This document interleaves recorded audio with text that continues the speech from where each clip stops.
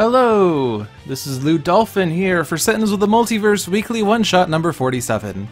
Before I start this, I'm going to make a note up front that uh, when I watched my last week's video, I felt like that the gameplay music was much too quiet, that you were basically only hearing me instead of the awesome music and sound effects this game has. Um, so I upped it a little bit.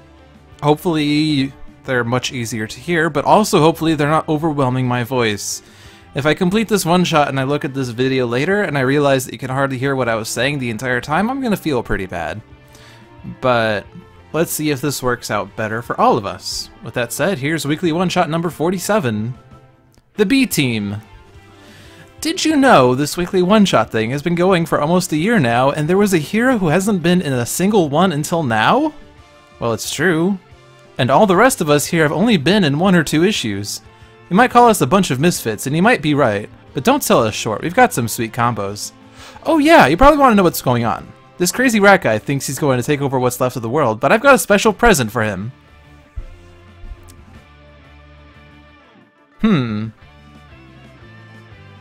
It's been on for almost a year now. There's a hero hasn't been in a single one until now. Really? Well, I'm kind of curious as to the accuracy of that statement because I'm looking at these five heroes and I can recall one-shots where they've been in. So we have Golem Unity, which I recall was in Time and Again? Yep, Golem Unity. Fifth in that roster. We also have GI Bunker. That might be the one, actually. But he was in the first one.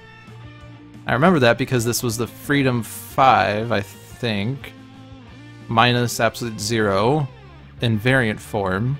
Because Absolute Zero I don't think had a variant at this time. But that's GI Bunker. Uh, Santa Guise hasn't been featured too frequently, but he did appear in the Gong Show, I think. Yes, that's Santa Guise. I remember this because this was the one that I won at the start of, or end of Wager Master's second turn. And then we have, uh, I don't, I know it's the Scholar, I don't remember what the name of this Scholar is. Scholar of the Infinite, that's what it is. That's Scholar of the Infinite, and I feel like he did appear in one because I remember that I comboed him. Yeah, he appeared in this one. I remember that I used uh, Know When to Turn Loose because that combos well with his base power. And then we also have Freedom 6 Tempest, also known as Sacrifice Tempest. And I think that did appear in an Omnitron one. Not that one, though. That's a Resurrection one. But I think it was an Omnitron one that was just the base game. Uh... Yep, that's Freedom 6 Tempest, so... It's actually not true. There's a hero who has been in a single one. I mean, I'm sure it probably only appeared in that most one, but all of these have appeared. But anyway, enough chit-chat about that. This is Plague Rat against Golem Unity, GI Bunker, Santa Guise, Scholar of the Infinite, and Freedom 6 Tempest in the Final Wasteland? Sorry, I'm just reading the description again. But let's start it.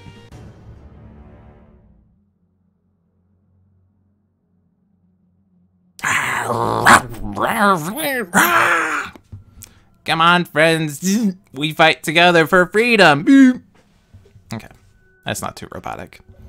We should imagine that that Golem Unity is actually a robotic, like a GLaDOS form of Unity. Actually, that is what it is. The story of Freedom 6 Unity, or Golem Unity, is that in the alternate universe where Legacy's daughter died instead of Legacy himself, he got mad and decided that the only way to save the world was to kill everyone in it. And at some point, Unity died. But before she died, she programmed a bot to take over as Unity. And that's Golem Unity. Which makes sense with her base power, Golem Spawn. Power, Unity deals herself 4 energy damage. Put a mechanical golem from your hand into play it's basically she's taking off parts of herself to mold into mechanical golems, is my interpretation of that power. It's rather sad. The Iron Legacy world is pretty sad. Uh, and the other Freedom 6 member we have here is Tempest. We'll talk a little about him. But this version of Unity starts with a B-Bot, Mechanical Golem. This card cannot be played during your play phase. When this card is destroyed, Unity deals one target two projectile damage, and you may destroy one ongoing or environment card. A Construction Pylon. Equipment. Power. Put up to two Mechanical Golems from hand into play and destroy this card. And two Supply Crates. Equipment. When this card enters play, draw a card. At the start of your turn, you may destroy this card to draw two cards. So normally the Supply Crate is... Uh, with standard Unity, Supply Crate is an equipment that Unity would would end up destroying sometimes, just to be able to put a mechanical golem into play. This version of Unity can't destroy Supply Crate for that purpose, but she can play it to draw a card, and that start of her next turn destroy it to draw two cards. So it's basically replace this card with three cards by her next turn. We also have GI Bunker, Base Power Panzerbuster. Power, select a target. Until the start of your next turn, damage dealt to that target is irreducible. He starts with an auxiliary power source. Equipment. At the start of your turn, you may destroy this card. If you do, you may use an additional power this turn. Power. Draw three cards. Destroy this card. Flak Cannon. Equipment limited. Power. Bunker deals one target three projectile damage. Maintenance Unit. Equipment. Power. Bunker regains 2 HP. In Upgrade Mode. Ongoing Mode. When this card enters play, destroy all other mode cards. You may play an additional card during your play phase. You cannot use powers. At the start of your turn, you may destroy this card.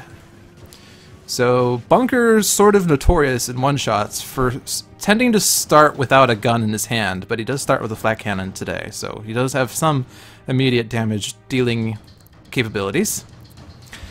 We have Santa Guise. It's gift miss time! Power. Put the top card of each hero deck face down in their play area. Power. One player may flip all face down cards in their play area, treating them as if they were just put into play. He starts with Gritty Reboot. Ongoing Limited. I'm hard-boiled, but not like an egg, like a detective. Whenever Guise is dealt damage, you may draw a card. At the start of your turn, destroy this card. Guise the Barbarian, ongoing limited. I am mighty and fearsome, like the the fabled alpaca! Increase damage dealt by Guise by 2. At the start of your turn, destroy this card. I can do that too! One shot. Guise uses a power printed on an active hero, active hero character card in play. If that power has the name of a hero in it, treat that name as if it were Guise instead, and you on that card means Guise' player. And extreme! Ongoing limited. It's hard to tell if I'm the most awesome or the most extreme. Probably both. Damage dealt by Guise is irreducible and cannot be redirected. At the start of your turn, destroy this card. We have the Scholar of the Infinite. Channel. Power. The Scholar deals himself and one target X infernal damage, where X equals the number of cards you have discarded since the end of your last turn plus one. He starts with an expect the worst, ongoing limited. Whenever the scholar would be dealt damage, reduce that damage to zero. At the start of your turn, the scholar regains 2 HP and destroys this card. He has two Flesh to Irons, ongoing elemental. At the start of your turn, either discard one card or destroy this card. Reduce damage dealt to the scholar by 2. And Grace Under Fire. One shot. The scholar deals one target X radiant damage where X equals the number of non-hero targets in play. We also have Tempest. Has his base power, Sacrifice. Power. Destroy one of your cards. If you do, draw three cards. Take a close look at Tempest. He seems to be missing something, doesn't he? That's right, he's missing his left arm. In this version of Tempest, which exists in the Iron Legacy world, he has presumably lost his left arm, but apparently can use electricity or something to build a functional arm. But it's still pretty sad. And the actual artwork for Tempest that you see in the lower right corner, he looks pretty mad or sad or both. Whereas the normal version of Tempest is usually smiling and he's like a little more cheerful. He starts with an Into the Stratosphere. One shot. Select one non-indestructible villain card in play other than a character card and put it on top of the villain deck. Tempest steals the villain target with the highest HP 2 projectile damage. And he has three copies of Otherworldly Resilience, Ongoing Limited, reduce damage dealt to Tempest by one. So this is an excellent start, considering this game. Plague Rat, Villain Plague Bearer. Setup. At the start of the game, Plague Rat enters play, Plague Bearer side up. Plague Locust is put into play, the villain deck is shuffled. Gameplay. At the start of the villain turn, if all active heroes are infected, Plague Rat flips. Whenever a card named Infection is destroyed, Plague Rat deals each hero target 5 toxic damage. At the end of the villain turn, Plague Rat deals each hero target one irreducible melee damage. So he flips if all active heroes are infected, whatever that means, but when he flips, he becomes Villain Filthy Vermin. Gameplay. At the start of the villain turn, Plague Rat deals each infected hero 2 toxic damage. Then, if any active heroes are not infected, Plague Rat flips. Infected heroes have these powers. Power. Your hero deals a hero target 3 toxic damage. Your hero regains 3 HP. Power. Your hero deals themselves 5 toxic damage. Destroy a card named Infection. At the end of the villain turn, Plague Rat deals each hero target 1 irreducible melee damage. So, on either side, his end of turn action is to deal 1 irreducible melee damage to all hero targets. This damage may not be reduced, no matter how many cards we have that say reduce damage, or reduce damage, or like reduce damage. All of those cards are ineffective against his end of turn damage dealing action. Hmm. Now, how does the hero get infected? Well, there are five cards in this deck labeled Infection, and it's called Ongoing. When this card is played, if all active heroes are infected, play the top card of the villain deck, then move this card to the villain trash. That's more of a disclaimer clause. Play this card next to an active hero who is not infected. That hero is infected. At the start of that hero's turn, they deal themselves one irreducible toxic damage.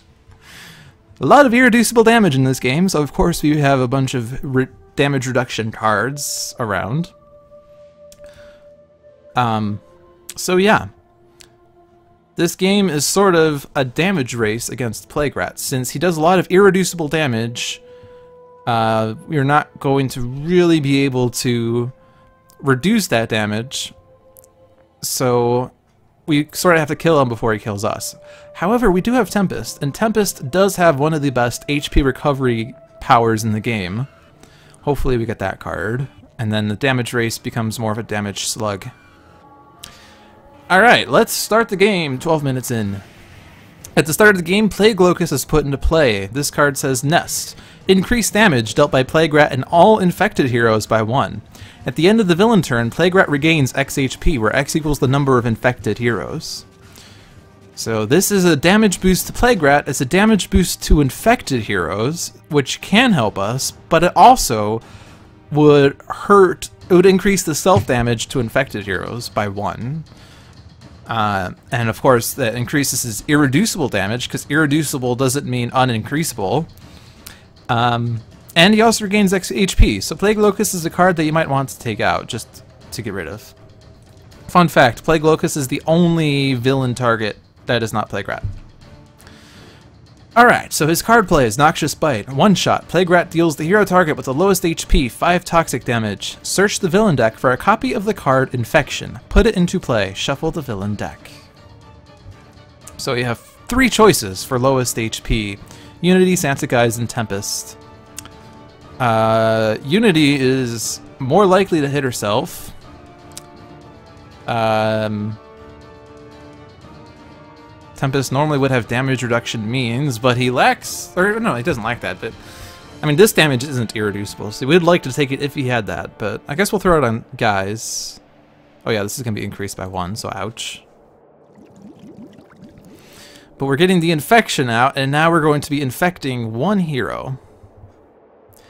So the hero who benefits most from taking damage is usually the Scholar, and he's also the highest HP, so we'll give that to the Scholar. Also gives them a damage boost, but we'll deal with that when we get there. And now we're doing the one irreducible damage to all hero targets, which is increased by one by Plague Locust. So you can see in this damage race, Santa Guise is already down to 17. one turn in. Okay. So we have to be careful with like B-Bot, for instance, because Infection is an ongoing card, so it could destroy Infection, but if we destroy Infection, then Plague Rat deals each hero target 5 toxic damage. It's not irreducible, but it is 5 toxic to all heroes, which is 25 damage total. So that doesn't seem too good. Uh, so I don't think we necessarily want to get B-Bot in, especially because Plague Rat would just destroy it immediately.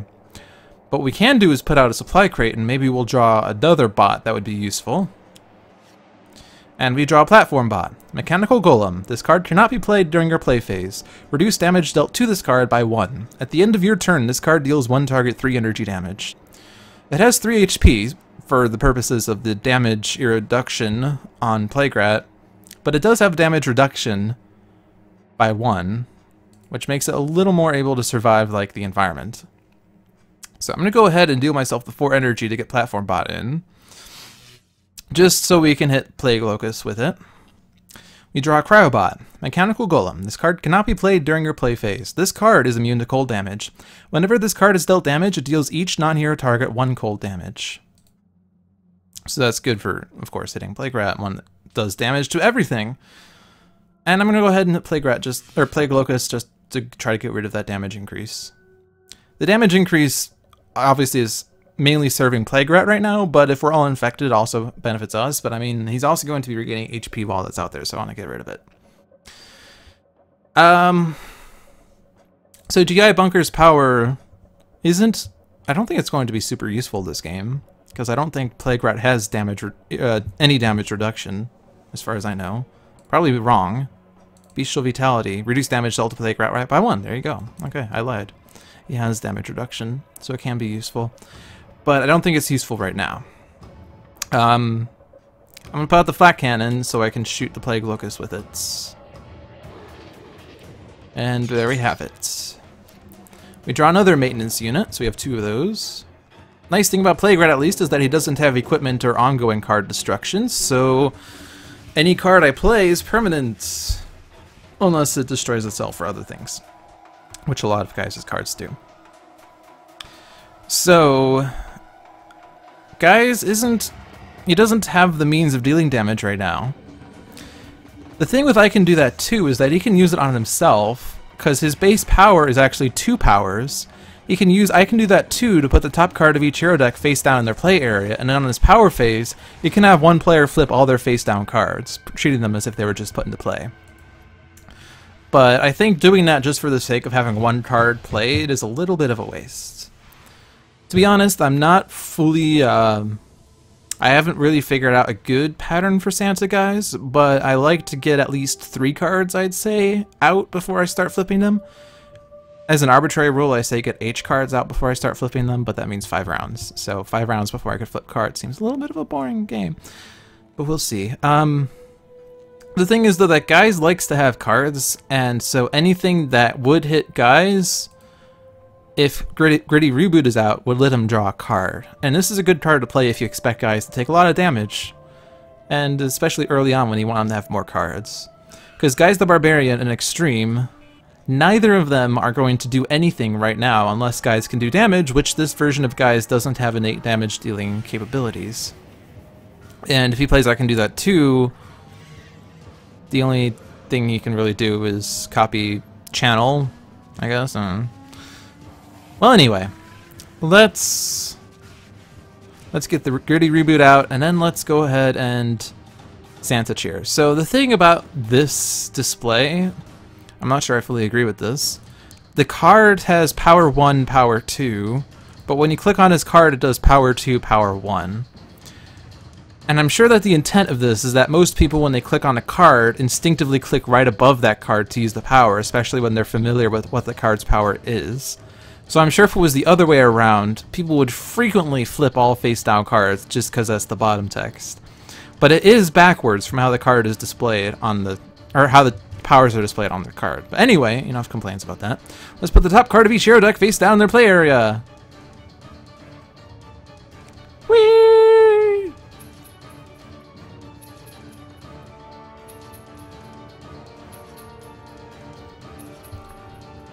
And now we draw best card ever! One shot. Draw two cards! Guise deals one target, two melee damage! Guise regains one HP!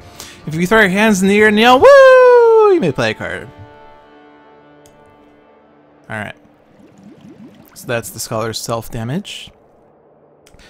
Now, Flesh to Iron, I was sort of criticizing it because it's damage reduction, which doesn't help with Plague Rat's um, thing because he does irreducible damage, but it would reduce the damage of Channel.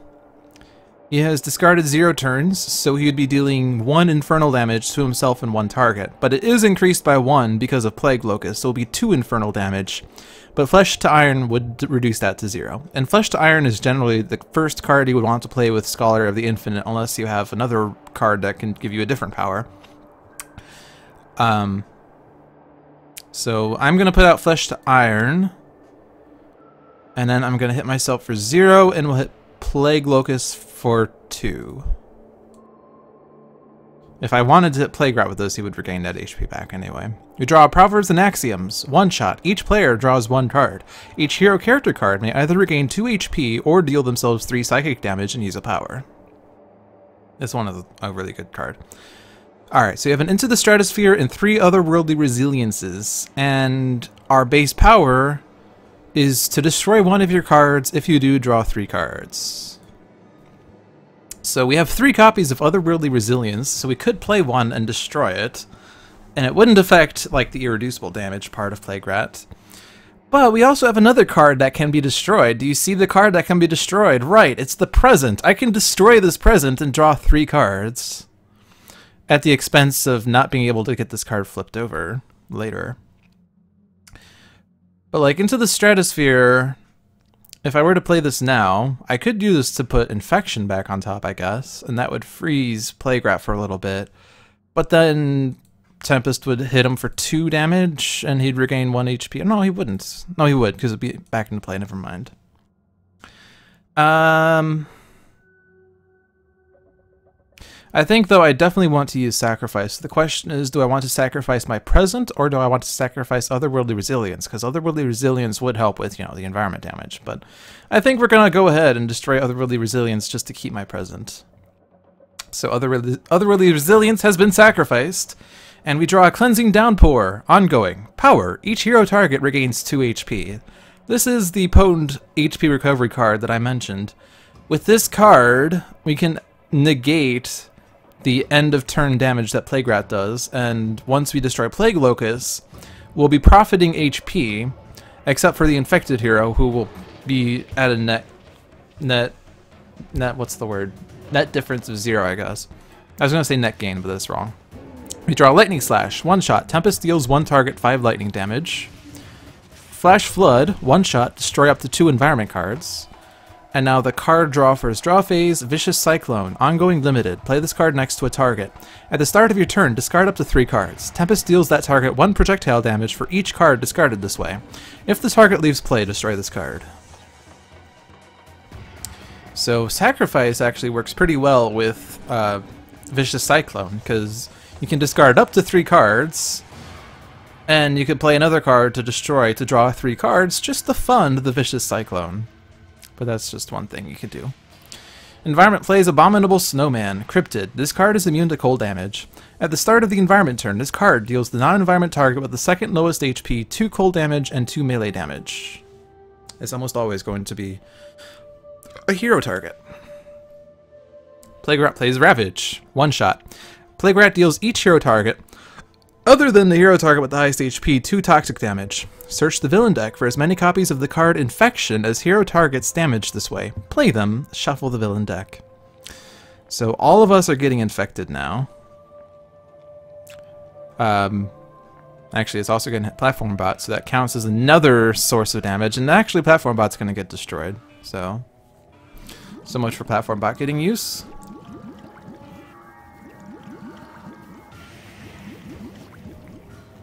But Guise was dealt damage, so we drew a card, such as Look What I Found. Guise deals one target 3 melee damage. Is that target still around? I should do more damage next time. If that target is still in play, increase the next damage dealt by Guise by 1. Scholar wasn't hit because he's the highest. And we're getting 5 infections. Well, really 4, because there are only 4 of those, so it doesn't matter who these are. It's just, they're all going to get played. So, We'll just go through this.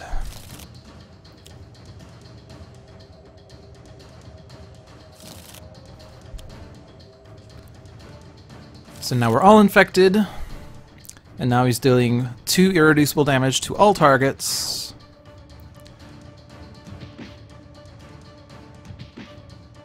Well, all hero targets. The Abominable Snowman is just sitting there.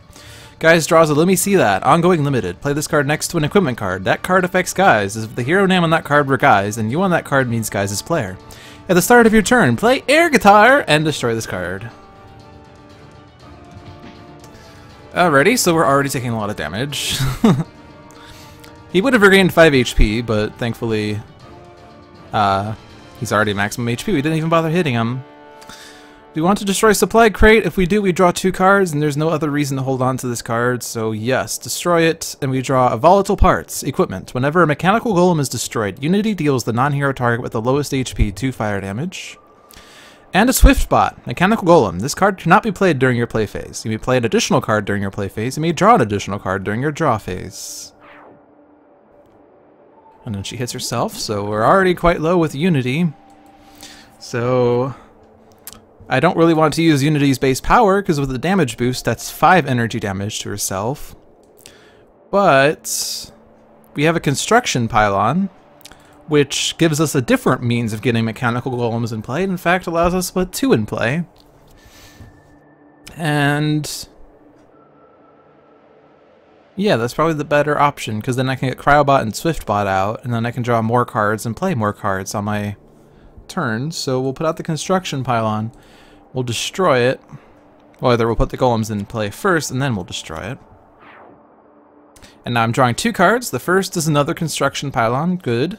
The second is a brainstorm. One shot. Draw two cards. Unity deals up to three targets, one lightning damage each. Alright. So... Still don't have to worry about damage reduction at the moment. But we do need to, you know, think about what we're going to do. I think I'm going to put out the maintenance unit so that I have it, and then I can potentially even like go into turret mode if I draw that. And then my Flak Cannon would do 4 damage, well 5 with Plague Locust, but that's going to get destroyed. And then I can regain 2 HP at the expense of not doing anything else. But without maintenance unit, just so it's there. This is going to do 4 damage, so is there a better means of taking out Plague Locust, or should I hit Plague Rat with this? I guess that's the same thing. Do I want to do something else to take out Plague Locust? Well, best card ever is going to do 3 melee damage. And uh, Scholar's going to discard a card. And... Hmm. He's going to discard a card, probably Flesh to Iron. And he's going to use Proverbs and Axioms probably, but that's still not going to... I don't think heroes want to be, be dealing themselves damage, especially when it's increased by one just to use a power. So they're probably going to go for the HP recovery, so they're not going to be able to do things there. But he'll have discarded one card, and he has a damage boost, so this will do three damage. And then Lightning Slash would take it out, but I think we want to start using Cleansing Downpour just to stay alive more. So, long story short, I don't really know if there's a better thing to do. But Best Card Ever will do 3 damage, and Channel will do 3 damage, which is enough to take out the Plague Locust. The Abominable Snowman is going to hit the second lowest, and the second lowest is currently Swiftbot, so we would prefer to probably hit Cryobot. But for that to happen, Cryobot would have to take damage if we keep the Plague Locust in play. And then potentially Cryobot could take out the Plague Locust, but he has to be damaged first, which is unlikely. So I think Flak Cannon on Plague Rat and then best card ever in Channel on Plague Locust is the way to go. Bunker draws a heavy plating. Equipment limited. Reduce damage dealt to Bunker by one. Another damage reduction source. Unfortunately, Gritty Reboot got destroyed before Infection did the self-damage, so so much for that. But let's do the best card ever, like we said we would. You draw a blatant reference, ongoing limited. Look how cool I am! Just like that actor, what's his name? At the end of each hero turn, you may discard one card. If you do, Guise deals one target, one projectile damage. At the start of your turn, destroy this card. And a Say Cheese. One shot. Guise deals one target one cold damage. Then, if that target is still in play and has 5 or fewer HP, you may play one card. So, if I do say cheese, I can actually take out the Plague Locust. Um, is there card I'd rather play instead? I don't really think so, because again, I want Guise to be more set up. Blatant Reference and Guise the Barbarian is an excellent combo, but we lack the means of getting both of them in play. Because, like, Blatant Reference is just doing one damage right now, two with Infection, which will get, to, well, we'll lose the boost very soon. But it's doing one damage for ex expense of one card. With Guise the Barbarian, that one damage becomes three damage, which is a lot better, but we can't really get both of these in play right now because we can only play one card. So I think say cheese on the Plague Locust, and then I can channel Plague Rat is the best option. So I regain the 1 HP. Woo! And now say cheese! Unfortunately, Plague Locust is not still in play, so I can't play another card. But I can gift miss us all presents. So we have two presents now.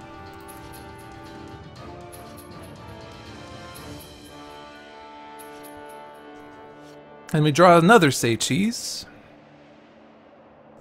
So Scholar hits himself. It's now for only one because we lost the damage boost, which is fine. Uh, which is perfect because now Channel's not going to hit himself. Um, but I think I don't need two Flesh to Irons. Because Scholar would like to have some damage taken just so he has HP recovery means for Mortal Form to Energy. But I think Proverbs and Axioms is what we're going to do. So each player is going to draw a card, and then we'll have a choice as to which order we want powers or HP recovery. So Unity draws a Flash Forge, one shot, discard any number of cards, search your deck for X mechanical golems and or equipment cards, and put them into your hand, where X equals the number of cards you discarded. Shuffle your deck. This is actually a great card with Swiftbot in play, because you can play this card, put a construction pylon and two mechanical golems into your hand by discarding three cards. Then you can play the construction pylon, and then use it to put those two mechanical golems into play. Which is why I really love Swiftbot. GI Bunker draws another auxiliary power source. Uh, Guise draws a Selling Out, Ongoing Limited. Gotta have all the best swag! At the end of the environment turn, you may discard one card. You may play up to three cards that share a keyword with the discarded card. At the start of your turn, destroy this card. This is one of the means that Guise has of getting multiple cards in play, and this is especially potent for this version of Guise, except for if he uses Gift Miss Time on himself to flip over all of his face-down cards. But this way we can use Selling Out to get Blatant Reference and Guise the Barbarian in play, although it would only act on Unity and Bunker's turns, but it is something that can be done. Oh yeah, and it also has one of the best flavor texts in the game. Heck yeah, zombie ninja pirate space or ah, zombie pirate, zombie ninja pirate, uh, zombie pirate ninja. Ah, I think there were four words there. I just lost it. Whatever. It was on the screen. You saw it. You read it. I'm sure you laughed at it. Whatever. Scholar draws a keep moving. One shot. Search your deck for an elemental card and put it into play. Shuffle your deck. You may play a card. And Tempest draws Flash Flash Flood which we already read. So five heroes, five sources of powers. And actually, Guise might want to hit himself nonetheless. It would only be three, because Plague Locust is gone. And that would enable us to get one more present face down on everyone. He would be the lowest. Or no, he wouldn't be lowest, because the lowest is Swiftbot. But with Cleansing Downpour, we should hopefully be able to keep Santa Guise a little more alive. Although, eh, I don't know. It's probably not worth it. I think the HP recovery is more worth it. I think everyone just wants HP recovery. Like, I don't think Unity wants to hit herself just to hit herself and get B-Bot in play, for sure. I don't think hitting himself to hit um, Plague Rat is useful. I don't think getting that card is useful. After all, I don't think hitting myself to destroy a face down card for more cards is useful, and Scholar only has one card, or yeah, one power. So everyone's just going to regain 2 HP.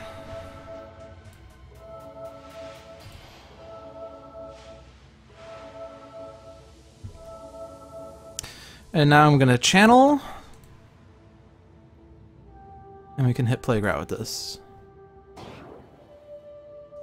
And we draw Know When to Turn Loose. One shot. Discard your hand. The Scholar deals one target X lightning damage, or X equals the number of cards discarded this way.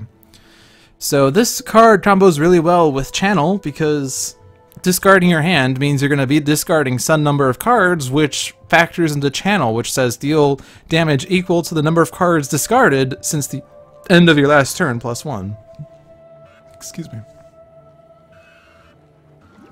Alright, so now with Cleansing Downpour, we should hopefully be able to keep up with hero HP.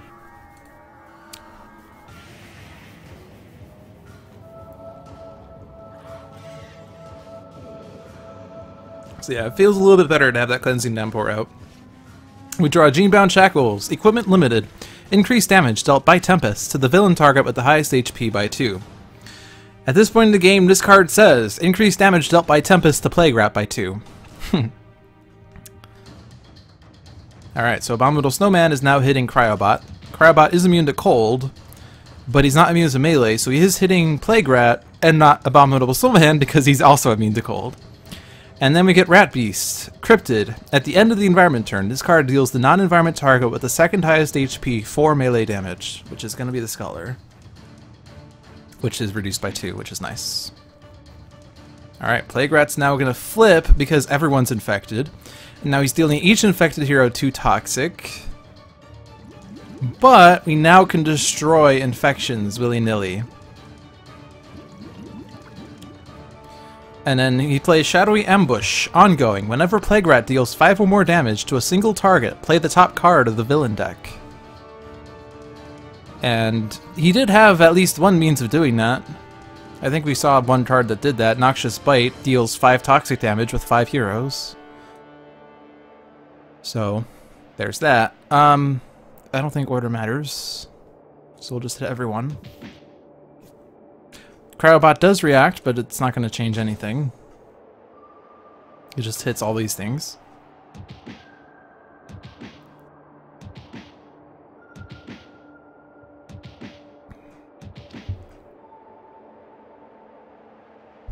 So now we can think a little bit about destroying ongoing cards. Or, sorry, destroying infections.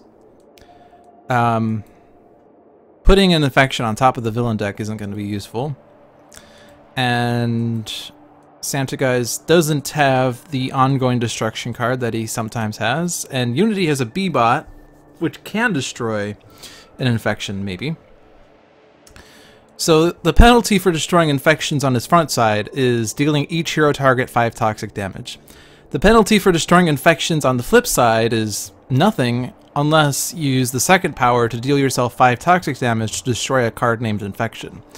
So the question then becomes, is it worth dealing yourself 5 toxic damage just to destroy the infection?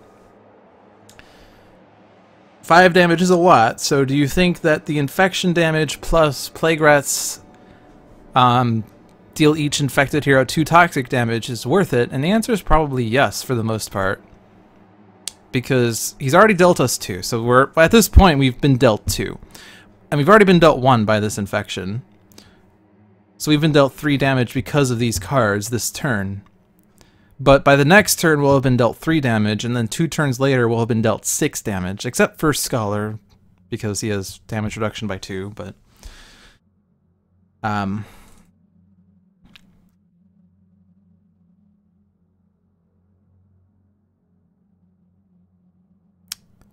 Just a few things to think about. We can use the first power. We can utilize the first power if we really wanted to, and we could just hit Scholar for 3 minus 2 Toxic to regain 3 HP. And Scholar is fine with taking that damage. You could even use that on himself to regain 3 HP at the cost of 1 damage, so he regains 2, and then Cleansing Downpour will all regain more HP. But in order to really use that, we have to sacrifice the power. So that's something to think about. Dealing yourself 5 damage to destroy a card named Infection is only useful if we're going to destroy all the infections. Because he's going to flip if there are any who are not infected. So once one is no longer infected, he's no longer a filthy vermin. This is at the start of the villain turn, so What's the best means of doing it? Is it to just sacrifice our powers this turn? Or do we wait one turn and then do it the next? Dilemmas. Well, GI Bunker with heavy plating is a little more willing to deal himself damage, and Tempest with Otherworldly Resilience is also willing to take damage a little more. Scholar is obviously able to take his own damage. Um, Guise doesn't have a card that copies ongoing cards in his hand. Unfortunately.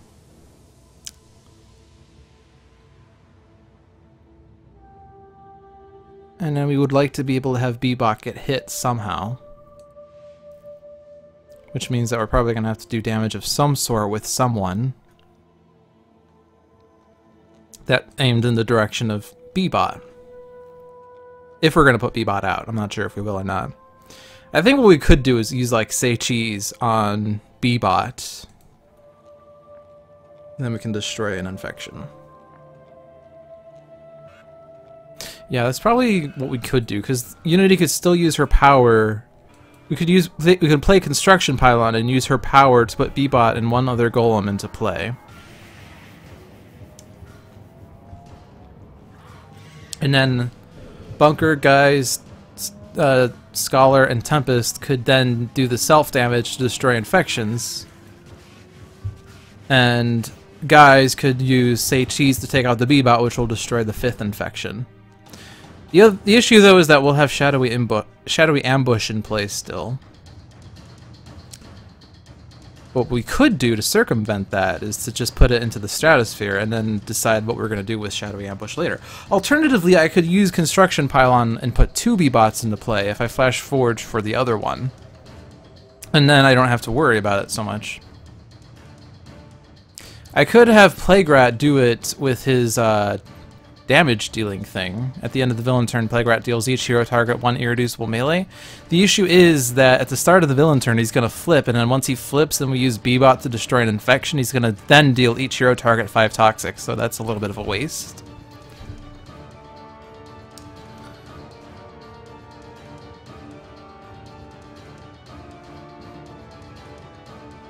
So decisions. Also, I'm not sure yet what Scholar is going to be doing. He doesn't really have a card he would want to play. He would like to keep moving into something, but he, he doesn't have the card to fund that, and he's also losing a card to Flesh to Iron anyway. Oh, decisions. Yeah, I think that's probably the best thing to do.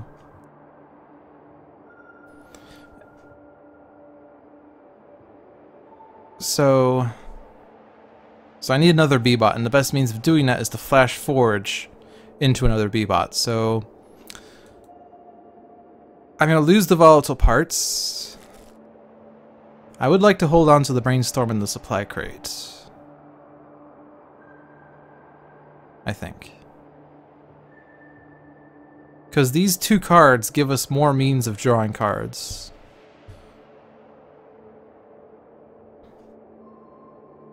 On the other hand, is there a golem I would really like to have in hand? Stealth bot isn't going to be super useful since he she will just keep taking irreducible damage. Platform bot's also not super exciting. Oh, and the other thing to bear in mind is that Unity has two presents face down now. So you see this text, which is actually FlashForge is blocking some of it, but it's basically saying, this isn't actually your deck. Two of these cards are face down in front of you, and we're not showing you which they are because that's cheating if you were to look at your deck for that purpose. So my plan will fall apart if if I can't get a second B-bot. And then there's no guarantee that the golems I'm thinking of getting are even in my hand. So um, I think I'm just going to stop. It's a little boring when I stop and draw only one. And now I can sort of cheat and figure out what possible golems are in front of me, since these are the cards that are in my deck, actually. but I didn't actually pay enough attention to what I had, and it'd be cheating anyway to just deduce what they were. Actually, I think I do know what one of them is. No, never mind, I lied. We definitely want the B-Bot. And now I have a second card to play, so I'm going to play the Construction Pylon. I'm going to use it to get the two B-Bots in play.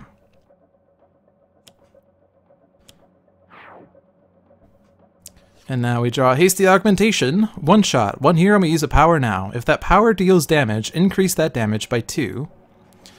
And a Champion Bot. Mechanical Golem. This card cannot be played during your play phase. Increase damage dealt by Unity and by Mechanical Golems by one.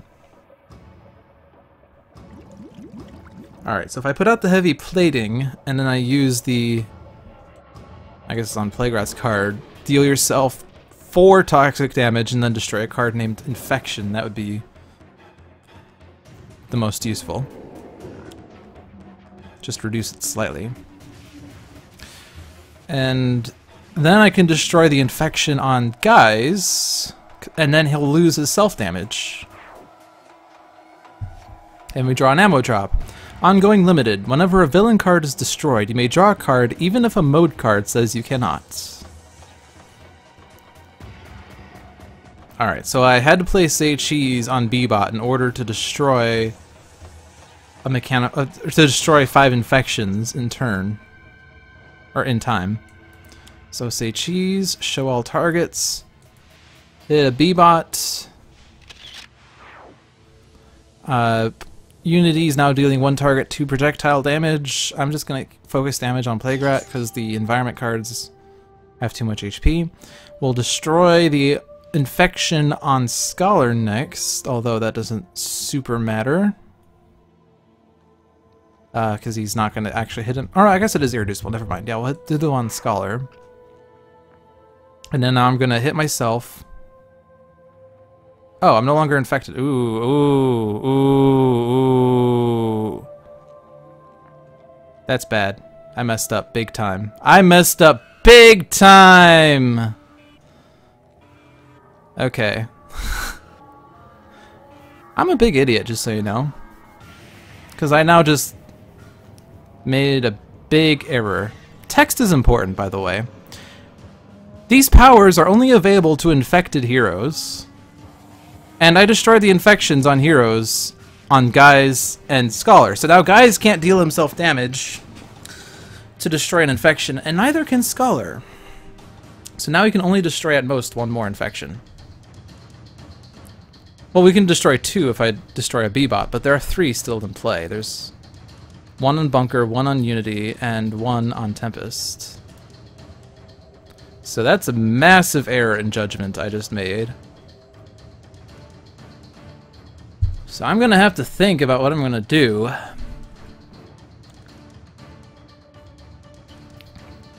I mean, it might be fine to just leave those infections in play. The alternative is to rewind, but if I rewind, if I use undo, you'll be unable to learn to earn a mint cover for this one shot. So, and I've to this day not used a rewind and lost a mint, so I don't want to start doing that now. But that was a massive error in judgment. We do have a few options. Tempest has two cards face down in front of him. One of them could be things that destroy ongoing cards. So if I flip Tempest's cards, we could potentially get the things that destroy ongoing cards. Uh, Guise also has a thing that destroys an ongoing, but it's only one. The card that Guise has is Retcon that says destroy one ongoing or environment card. Tempest's is Ball Lightning that says destroy up to two ongoing cards. The issue is that there are only two copies of that in his deck, and there are 30 cards between his deck and face down, so there's, you know, a 2 out of 30 chance the first one is that card, and then if the first card isn't that, then it's a 2 out of 29 chance that the second card is that card, so that's pretty small. Guise at least has 3 copies of Retcon, but still it'd be at most able to destroy one. I'm sure everyone was screaming at me when I destroyed Guise' card, and then screaming when I destroyed uh, Scholar's card. I was just thinking I'm going to stop them from taking the infection damage just to save them a little bit, but little did I know. Oh boy. Yeah, I'm gonna flip Tempests. And we might get lucky. I don't want to undo if I can avoid it. So you can flip them if you want, if you know the order. There are actually ways of knowing the order of these cards or knowing which card is which just based on deck manipulation, but I don't know what these cards are, so we're going to choose for me. First one is an Elemental Subwave Inducer, equipment limited. At the start of your turn, select a damage type. All damage dealt by Tempest this turn is of that type. Reduce damage to Tempest of that type by 1 until the start of your next turn. Second card, Into the Stratosphere. One shot. Select one non-indestructible villain card in play other than a character card. And Oh, I think I already read this, never mind. Unfortunately, we did not get that. We did not get the Ball Lightning. So, I'm definitely putting a card on top of the villain deck as well. So I can still use Bebot to destroy an infection somehow, and we can still use Tempest to destroy an infection, so there'll be one infection left.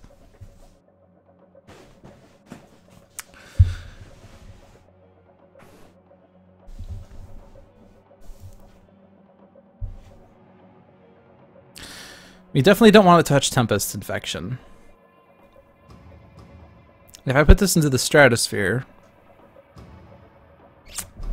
it's going to come back into play, but at least we will know what Plague Rat will play.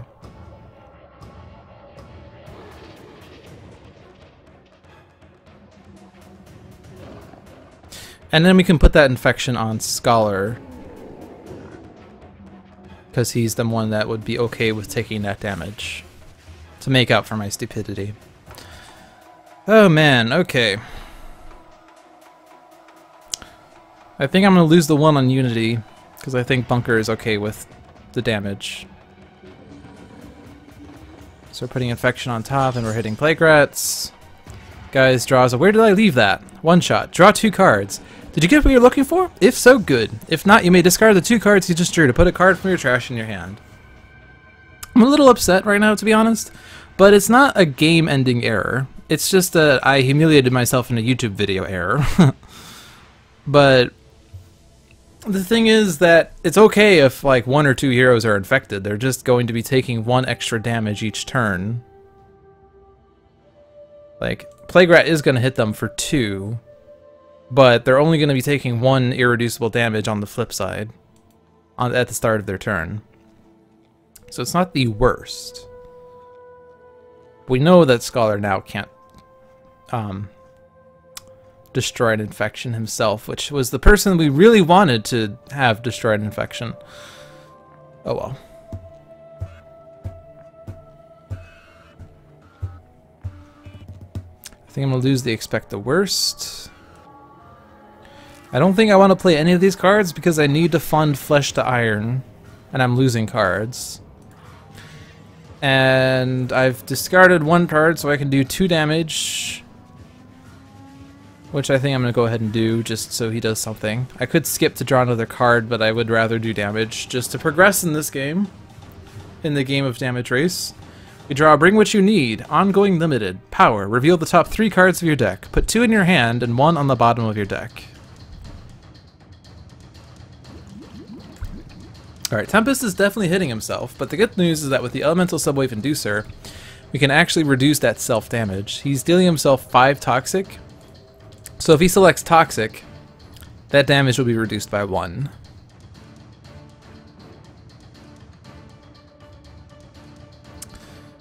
So if I want to destroy the other B-Bot, for sure, Rat Beast is the second highest, so he's definitely not doing that.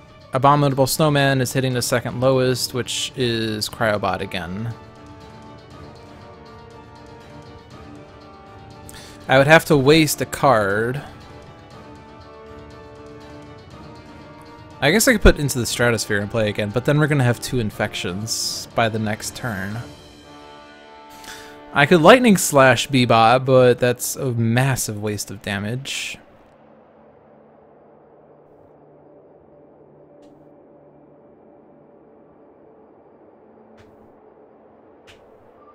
Yeah, I think we're going to Stratosphere it, because then I can arrange it so that Scholar and Tempest have the infections, because they're actually the highest HP right now.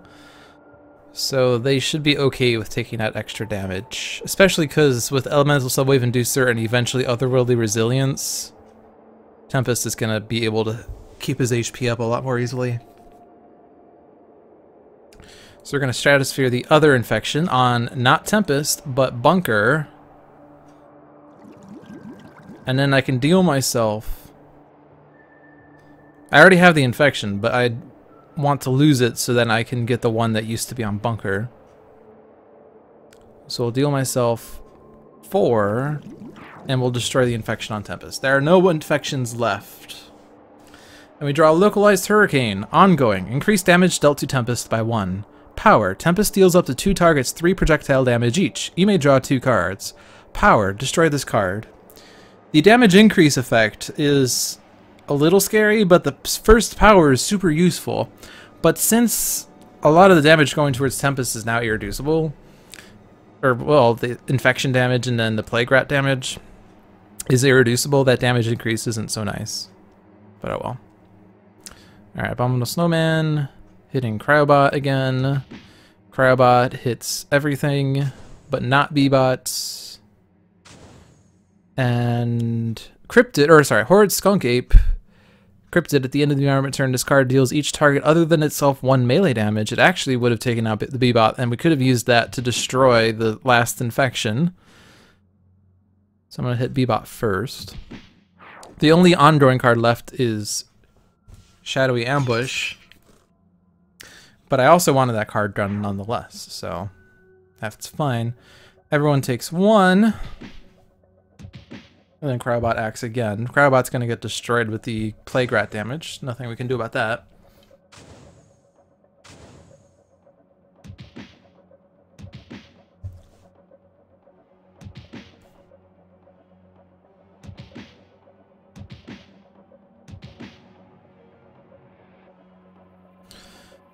Plague Rat plays the Infection that we knew he was going to play. We're going to put that on Scholar because he's okay with damage. And then he's gonna destroy the cryobots.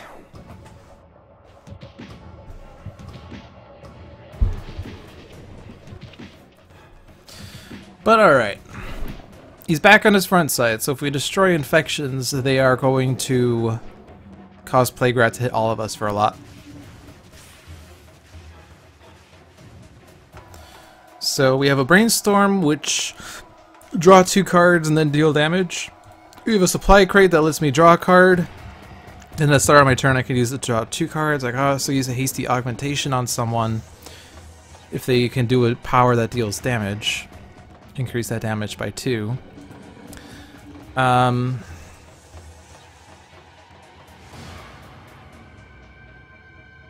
I think we're going to try to get another bot, maybe. We're going to brainstorm. You draw a turret bot, mechanical golem. This card cannot be played during your play phase. At the start of your turn, this card deals one target, three projectile damage. And we draw a powered shockwave, one shot. Unity deals each villain target X lightning damage where X equals the number of mechanical golems in play plus one.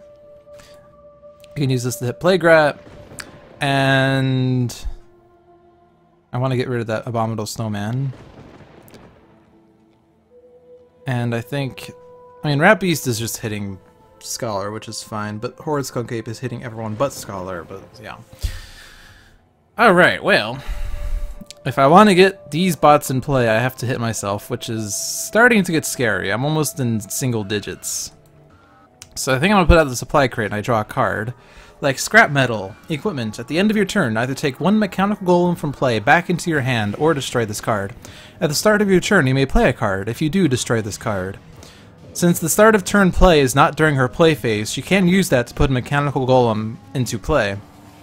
And so the scrap metal is sort of a card that base unity tends to destroy to get a golem in play, but it also can be used to get a golem back into hand that you know is going to get destroyed. And when it goes back into your hand, its HP is recovered to max, and at the start of your turn you could play it, and it saves it from destruction.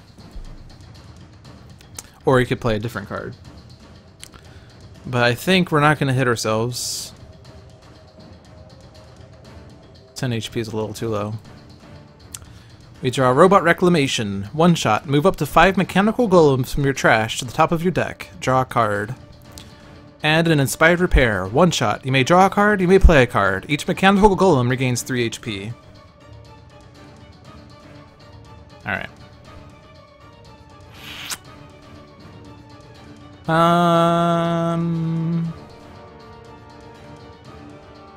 There aren't too many villain cards left that will be destroyed. So I think I'm going to put the Auxiliary Power Source out, just because it gives me the option of destroying it on the next turn to use an additional power. And then I can hit Plague Rat. And then I draw Recharge Mode, Ongoing Mode. When this card enters play, destroy all other mode cards. You cannot play cards or use powers. You may draw an additional card during your draw phase. Reduce damage dealt to Bunker by 1. At the start of your turn, you may destroy this card. Alright, so Guise is still going to have to get more cards out. We flipped Tempest out of an emergency, but we want to have more cards in play. So I think I'm going to use I can do that too on Guise, and he'll put an additional card face down, and then I can flip someone's cards. So let's do that. I can do that too on Guise. So it's a little confusing when you see Guise twice, but use first power should be the one that puts the top card of each hero deck face down in the play area.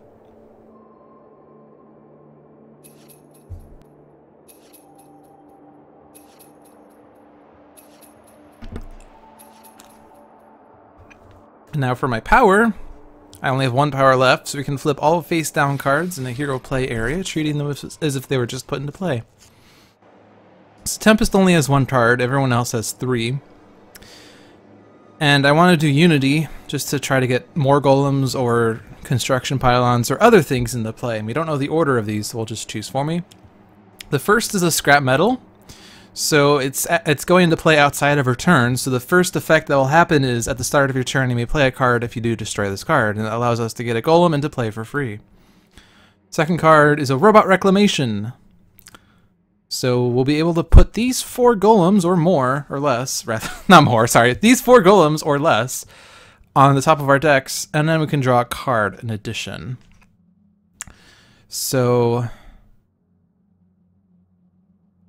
do we want these back necessarily? Because Platform Bot got destroyed pretty quickly because of the irreducible damage. Uh, Cryobot would be doing one damage across the board. B-bots... I guess we want to have the ongoing destruction again. Also, when I destroy the, uh, When I destroy Supply Crate, I will be drawing two cards, but I still don't have a means of playing them without hitting myself. Which I ultimately want to end up doing is um, getting more powers.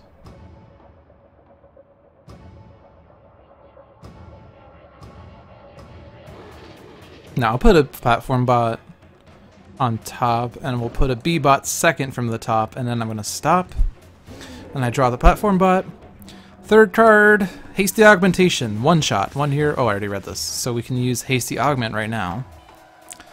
If she uses it herself, she can hit herself for way more than normal. She uses it on Bunker, Bunker can do 3 plus 2 with Flak Cannon. If we use it on Scholar, he's going to do 2... No, he's discarded 0, so it's less effective. 0 plus 1 plus 2 is 3. He deal himself 1 to hit Plague Rat for 3, which is less effective than Bunker. And Tempest uh, would either have everyone regain HP or destroy a card to draw 3 cards, which I don't want to do. So Bunker is the best bet. We're not really doing too bad in this game, regardless of my infection mayhap, mishap. Guise, draws another look what I found. Scholar has to discard a card. And I think we're going to lose Grace Under Fire. No, actually, that's probably going to be pretty good. I would like to hold on to keep moving. I want to play Bring What You Need, and I would also like to hold on to Know When to Turn Loose, just as a finisher.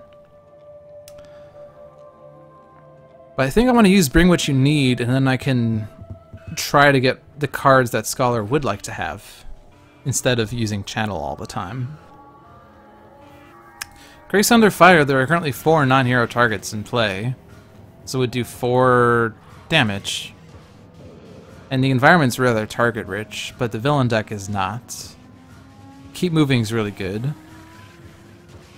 I guess I'm just gonna lose. I'm gonna lose. Know When to turn loose because we have another one in our deck. So, and the self damage. So this is going to cost 2 damage to Plague Rat, but it will also fund Flesh to Iron and other elementals. We get another Grace Under Fire, we get another Bring What You Need, and we get a Truth Seeker. Ongoing Limited. Power. The Scholar deals one target 2 melee damage. Draw one card. So I definitely want Truth Seeker. And since Bring What You Need is already in play, I'm going to put Grace Under Fire into my hand. And that puts Bring What You Need under my deck, and I draw no to Hold Fast. One shot, draw five cards, immediately end your turn. So, that's the opposite effect of Know When to Turn Loose, which is to discard your hand. This one is to draw a lot of cards. Alright, so what damage do we expect Tempest to be taking this turn? Um, he would be taking the melee, but he's probably going to put Otherworldly Resilience out just to make sure the environment doesn't beat him up too much. Especially since he'll be taking the two irreducible damage between Plague Rat and himself. And... Little Snowman's going after a Mechanical Golem. It's... Actually, no, it's going to go after either Geyser Unity. Rat Beast is going to go after Scholar. Horde's going to going after everyone. So none of those are hitting Tempests, and we don't know what else the environment's going to play. Um, but there's a lot of melee damage. But this one hits the lowest anyway. New Jersey, New, New, New Jersey Devil also hits the lowest. So this doesn't really matter too much, especially because we know what Plague Rat's going to play. So I'm just going to select Toxic put out the otherworldly resilience, and then we can cleanse downpours.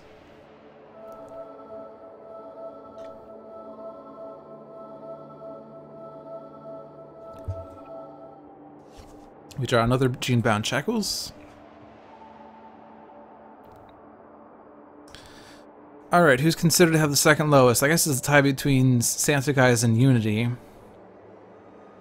So I'm going to just hit Santa Guise with this. He has HP recovery means, unlike Unity. Amphibious Chupacabra, Cryptid. At the end of the environment turn, this card deals the non-environment target with the lowest HP 4 melee damage. Then if that target has 5 or more damage, this card deals that target 1 toxic damage. That's going to take out Swiftbot. And then this hits everyone.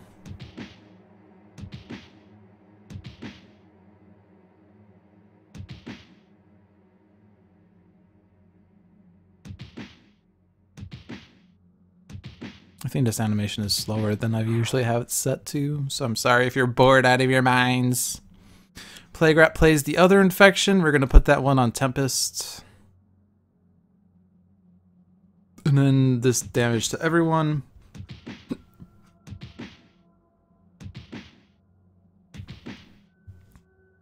Alright. If I destroy supply crate, I'll draw two cards. So I draw the B-bot that I put there, and I draw the Brainstorm. If I play a card, I destroy scrap metal. Um, so I do want to play something. I'm going to play the platform bot. Since I don't have another means of getting a bot into play.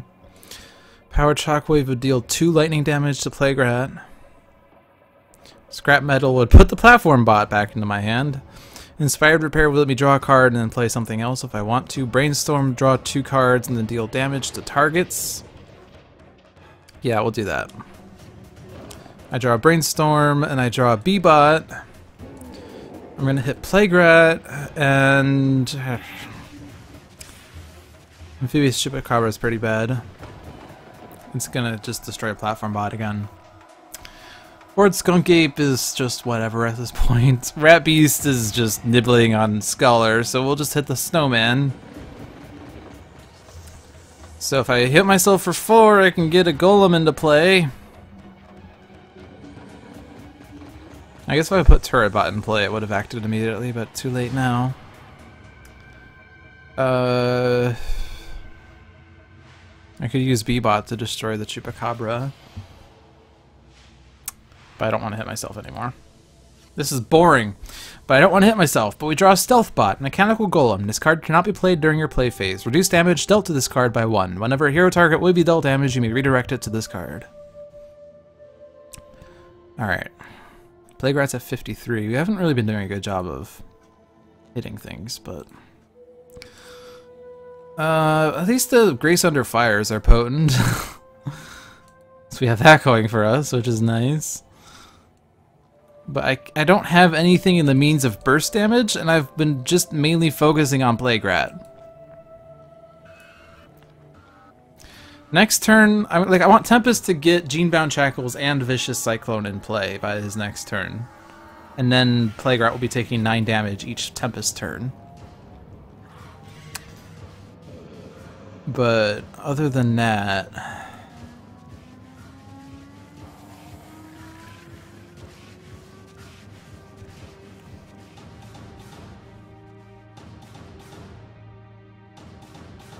I mean, the Chupacabra is gonna take out Platform Bot. Abominable Snowman's going after Santa Guise. So if we want to keep those people alive, we kind of have to deal with them in some fashion.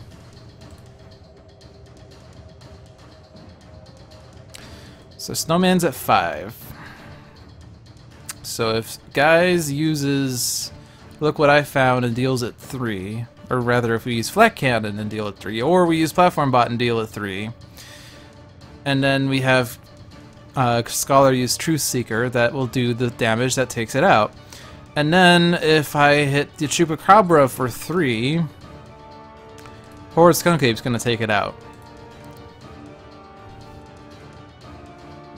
So I just have to do three to the snowman and three to the chupacabra and two to the snowman with scholar. So yeah, we'll hit the chupacabra with this. Do I want to destroy auxiliary power source to use an additional power this turn? It would enable me to use maintenance unit, but I think I'm going to hold on to it because I don't need the HP right now. Um...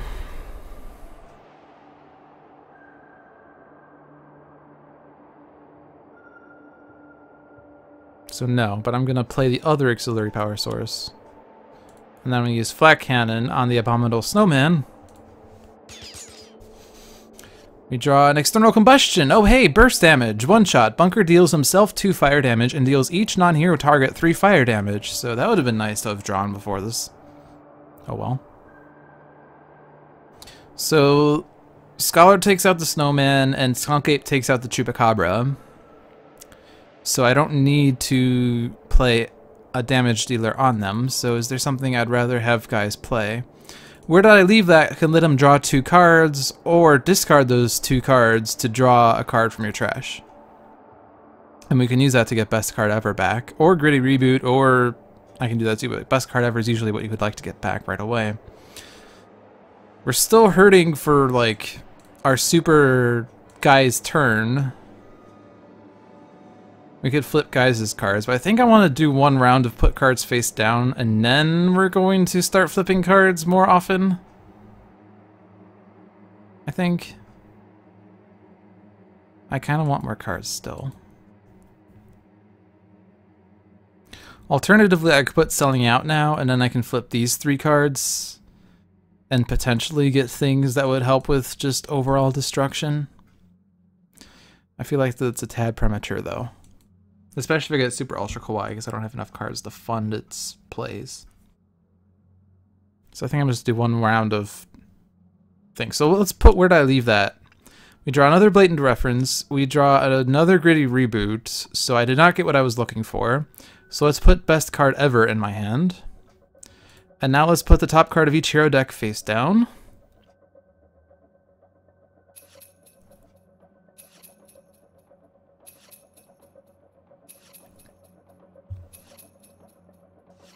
We draw, oh yeah, I'm that guy. Ongoing Limited. When this card enters play, give another player a high five. If you do, treat this card as if it had the game text of every ongoing card in that player's play area, replacing their hero's name with Guise, and you on that card means Guise' as player. At the start of your turn, destroy this card. That's a Guise' Hijinks card. You can copy Scholars and have damage reduction and a bring what you need. To keep Flesh to Iron, I have to lose something. So I'm going to lose a Know When to Hold Fast, as much as that card is cool. But I'm going to keep moving into a mortal form to energy, which now we know is not in our... It's not face down in front of us, because we have three copies of that in our deck. I'm going to put that in play because it chains with Cleansing Downpour. And I'm going to play Truth Seeker. And now I'm going to use Truth Seeker. And now I can take out the Abominable Snowman. I draw an Alchemical Redirection. Ongoing. Redirect all damage that would be dealt to hero targets to the Scholar. At the start of your turn, destroy this card. And a Transmutive Recovery. One shot. The Scholar regains 2 HP. Draw two cards.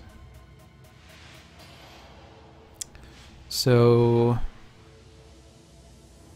I'm not sure what damage we're particularly worried about. I guess Plague Rat now we don't know what the next card he's going to play is.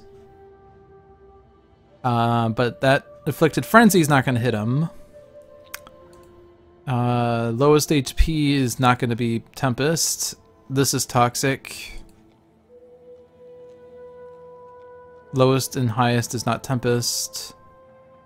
And this is melee and toxic. To so toxic is the best bet.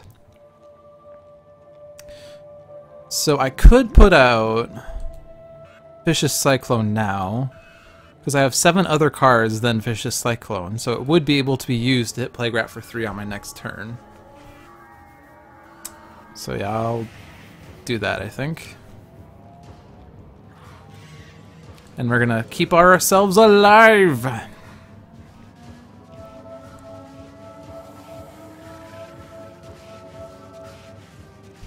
So now Scholar can deal 2 damage. So I'm to put that on Plague because I'm not worried about the other environments. And we draw Aquatic Correspondence. One shot. Draw 3 cards.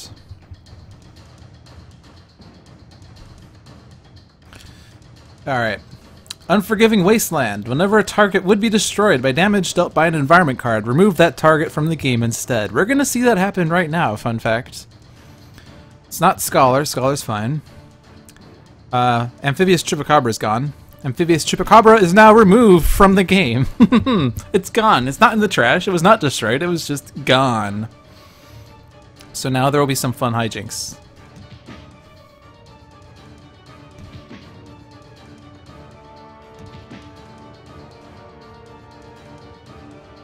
But Rat Beast is not gone yet. Plague Rat is playing Bestial Vitality. Ongoing. Reduce damage dealt to Plague Rat by 1. At the end of the villain turn, Plague Rat regains 3 HP. So now Bunker's Panzer Buster is going to be useful, because we'll get past that Bestial Vitality reduction, although we do have a B-Bot in our hand that we could use to destroy Bestial Vitality at some point. Although now we can't rely on Horrid Skunk Ape to destroy it, because instead of being destroyed, B-Bot will be removed from the game instead. So I can only play one card.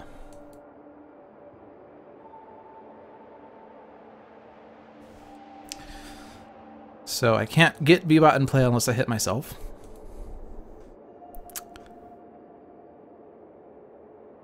I could put out Stealth Bot and then I don't have to worry about the Horrid Skunk Apes damage anymore. But in order to do that, I have to hit myself. Um, this would deal each villain target two lightning damage, which would take out the rat beast and would reduce the skunk ape to one, but it would only do one damage to plague rat.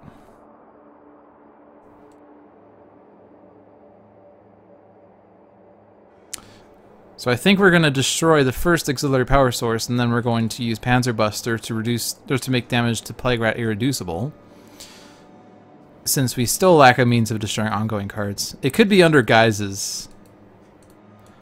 So we could potentially retcon the Bestial Vitality, but still. Um...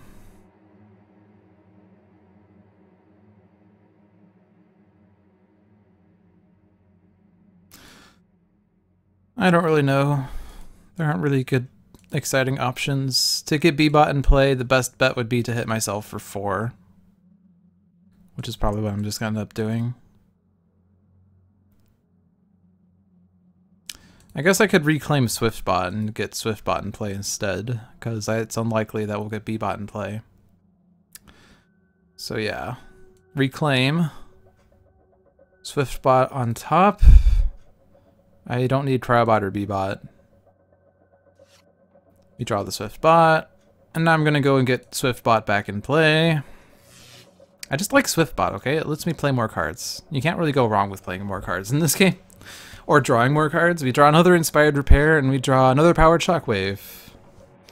And now I can deal three energy. Uh...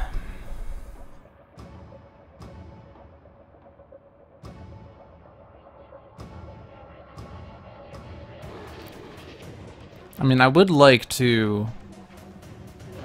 I guess with external combustion, the cryptids will get destroyed. So we'll hit Plague Rat with this, even though it's a little bit of a loss of damage.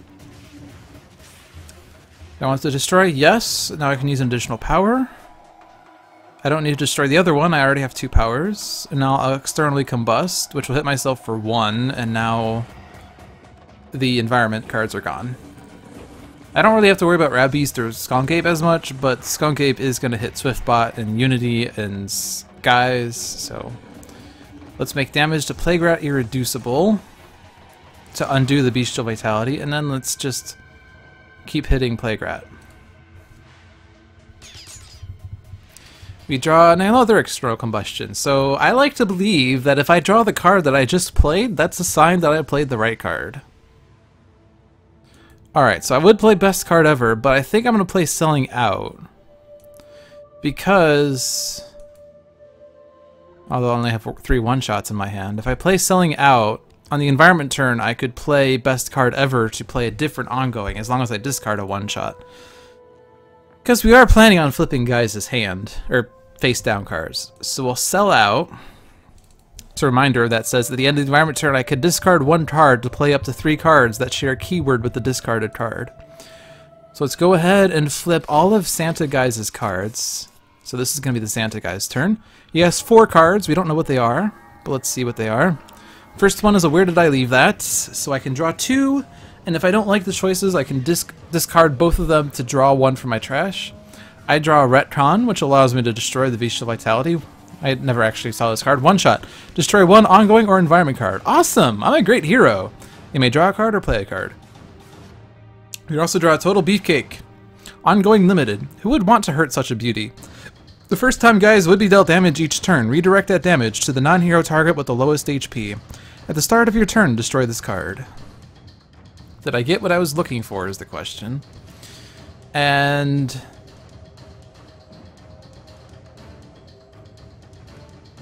I can only get one of these cards. The retcon is nice. I would like to use the retcon, especially since the end the end of the retcon after I destroy an ongoing card, I can draw a card or play a card. This allows me to play an ongoing. So, to describe what's going on, by the way, since I guess I should probably be more clear with what I'm thinking, uh, with selling out, I can only play up to three cards that share a keyword with the discarded card. So if I discard a one-shot just so I could play best card ever, then I can only ever play one-shots. So I can play best card ever, but wait a minute, what does best card ever say? Best card ever says, draw two cards, deal damage, regain HP, and then play a card. This clause doesn't say that card has to share a keyword with the discarded card, it just says play a card. So I can use this card to play like Blatant Reference, which is an ongoing card that can't be played via selling out if I discard a one-shot. So best card ever allows me to play an ongoing, and then Retcon allows me to destroy a card, and then I could play a card which could be an ongoing, such as Guise the Barbarian. And then the third card play could be uh, Look What I Found, which is now benefited by Guise the Barbarian, and increases the first blatant reference hit at the end of Unity's turn.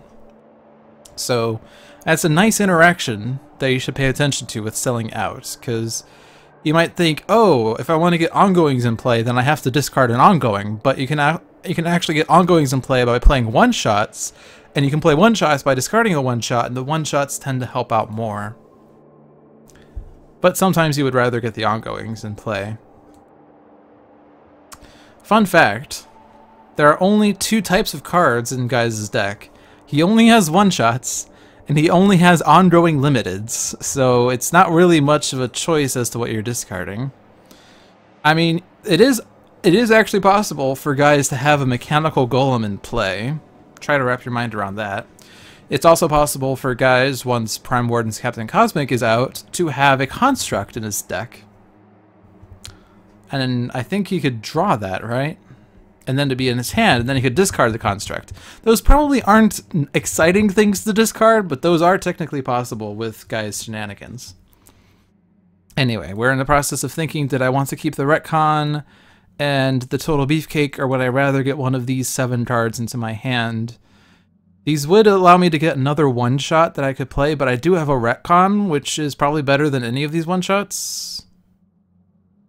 And I don't think the ongoings are worth because we already have the blatant reference and the gritty reboot isn't going to be super exciting.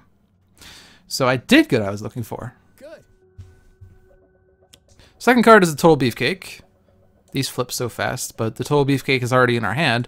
So now the first time Guise will be dealt damage that gets redirected to the non-hero target with the lowest HP. So now the Plague Rat's irreducible damage is potentially going to an environment card. I can do that too. I can use a power printed on an active hero character card in play guess what? Guise hasn't used his first power yet, so I could use this to get another card that Guise will potentially play. The alternatives is to deal myself 4 energy damage to put a mechanical golem from hand into play, which I have no mechanical golems in hand. I could select a target and make that damage dealt to that target irreducible, which Plague Rat's damage is already irreducible. I could hit myself for one Infernal and hit Plague Rat for one Infernal, or I could destroy one of my cards to draw three cards. This is actually the one that has some value. Like, I could destroy Total Beefcake and draw three cards that can potentially benefit from selling out. But I think I would rather get an additional card face down.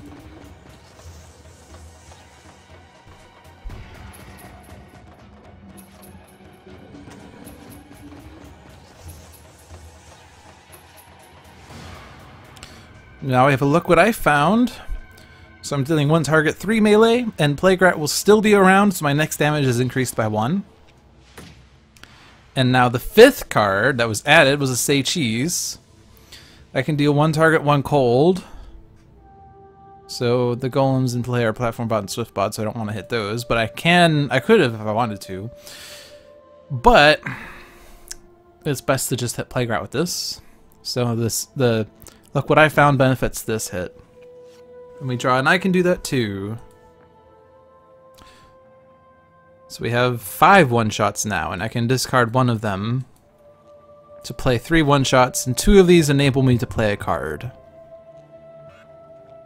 Alright, so I have two uh, two elementals now in Scholar's deck, or player. I have a Flesh to Iron and a Mortal Form to Energy, so if I wish to keep both of those, I have to discard two cards.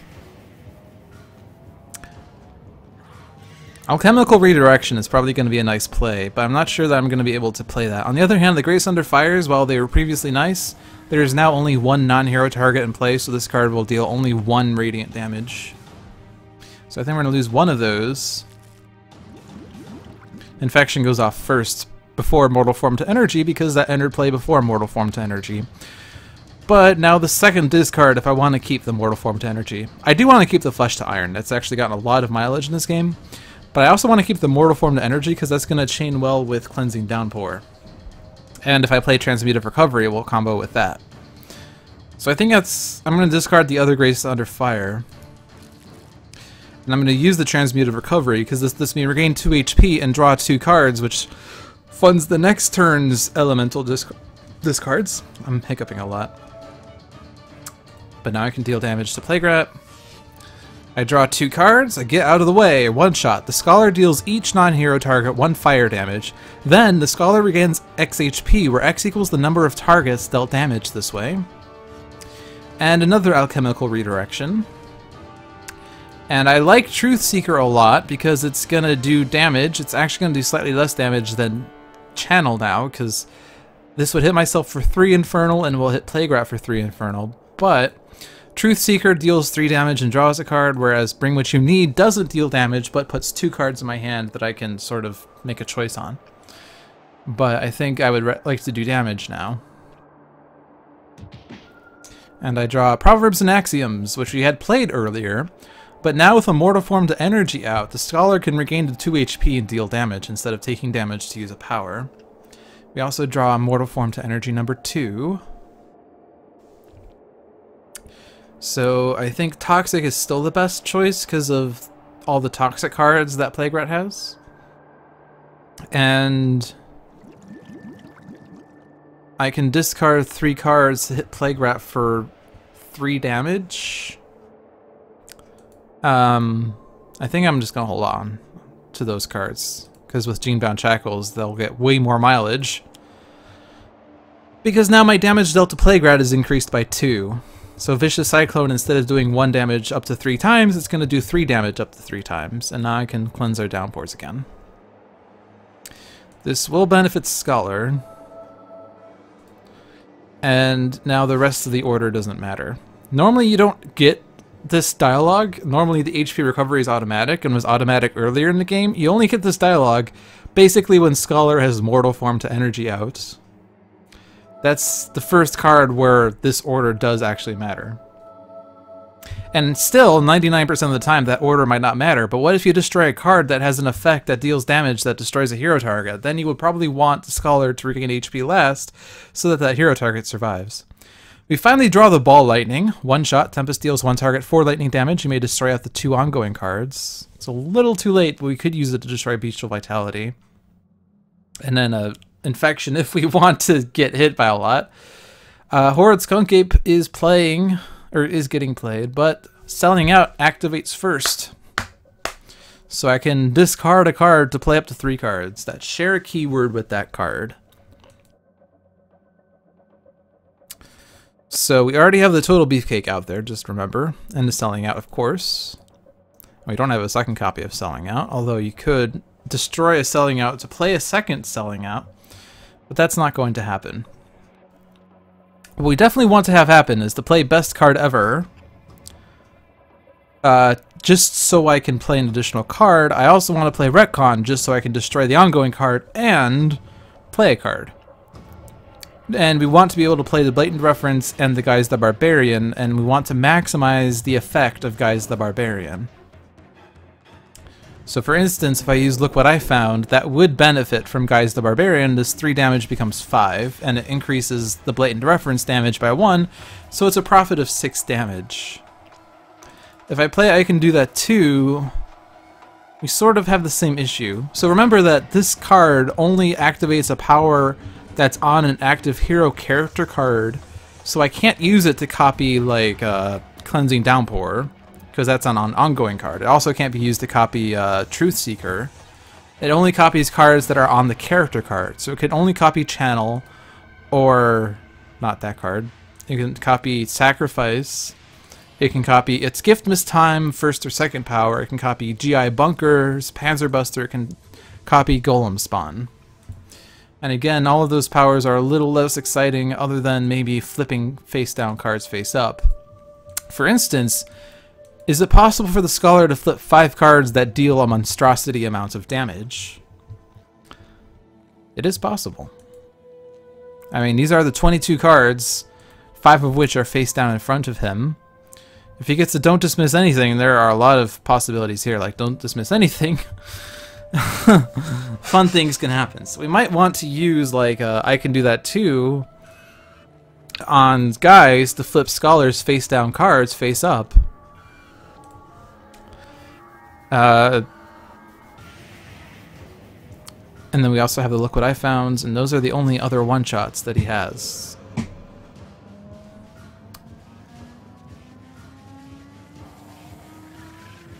Uh, we also have an, oh yeah, I'm that guy, but if we want Guise the Barbarian and Blatant Reference in play, we can't get this in play. Is there an ongoing that we would like to copy? Just out of curiosity. I feel like there isn't really. Uh, Unity does not have ongoings, period, but like we could copy powers and damage reduction, which isn't super exciting, or damage reduction, power, reaction to HP recovery, and a power, so that's not exciting. No, so that's not exciting. Uh, and making my damage irreducible and can't be redirected isn't super fun, really. So no, I don't think there's really an ongoing that we would like to copy. I guess let me see that. I guess let me see that if I could play that on uh, Genebound Shackles, actually. Then this would increase damage dealt by Guise to the villain target with the highest HP by 2, which would chain really well with Guise the Barbarian. But I can't get blatant reference Guise the Barbarian and let me see that in play currently. No, so I think we're going to discard a Look What I Found. And now I can play up to four cards. So first let's retcon the Bestial Vitality and get Guise the Barbarian in play before we figure out what else we're going to do, because that will benefit the damage from Best Card Ever. So we'll play Retcon. I can now destroy an ongoing or environment card. So I could destroy an infection, but that would hurt us a lot. I could destroy Horrid's Concave, but that's not exciting. I could destroy Unforgiving Wasteland, that's not exciting. We'll destroy Bestial Vitality, and now he's not going to regain HP. And now I can play any one of my cards in my hand, other than Total Beefcake, because that's already in play. We'll play Guise the Barbarian. So now damage dealt by Guise is increased by 2. I can now play Best Card Ever. So now I draw two cards, which might help me with figuring out what I want to do. We get another Let Me See That, and we get a Super Ultra Kawaii. Ongoing Limited. I'm not just a hero, I'm a magical love prince. At the end of each hero turn, if you have more than five cards in your hand, you may play a card. At the start of your turn, destroy this card. Well. So that does give us a little bit of a choice, but first we'll hit Plague-Rat. Santa Guise gains an HP, throws his arms in the air, or hands in the air. Now this is another card that isn't a selling out card, so it can be anything. So if I play Super Ultra Kawaii, I could then play cards at the end of Unity's turn and at the end of Bunker's turn. And then it would be Guise's turn this card gets destroyed at the start. So instead of playing Blatant Reference, I could play Super Ultra Kawaii. And I could use Super Ultra Kawaii to play the Blatant Reference. So that's a little bit better. Because I could then instead play a Look What I Found, and uh, I can do that too. Actually, I can't really do that. Because I would be playing and I can do that too, or Look What I Found next. So I could play the other one before Blatant Reference, or I could play Blatant Reference and then play the second card on the end of Bunker's turn. So to clarify, I could play Super Ultra Kawaii now, which is what I'm going to do. And then I can play a third one-shot, which is probably going to be, I can do that too, to copy Guise' second power to flip uh, Scholar's face down cards face up. And we'll see what happens there. And this doesn't give me the benefit of another card play. But with Super Ultra Kawaii, at the end of Unity's turn, I can play an additional card. Because I will have more than five cards in my hand. I have one, two, three, four, five, six, seven, eight, nine. Super Ultra Kawaii, and I can do that. Two will be played, so I'll be down to seven. I could play Blatant Reference, so I'll have six, and then I discard a card. Ooh. Yeah.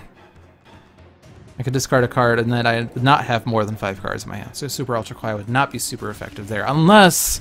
Actually, Bunker, or not Bunker, Scholar has a lot of cards that let heroes draw cards, so it is possible for him to do that. So we will play a Super Ultra Kawaii. But what I was going to say is that at the end of Unity's turn, I could play Blatant Reference, and then this card would act immediately, and I could discard a card to deal the projectile damage that I originally said I was going to do. And then now, at the end of Bunker's turn, provided that Guise manages to draw another card, hopefully via Scholar, he could play another card, such as either Look What I Found, or rather we would have used I Can Do That too on Scholar. So he would play Look What I Found. You could also use Let Me See That on Tempest, but that would only benefit... That'd actually not do anything, because it would expire immediately, so we could use Look What I Found at that point.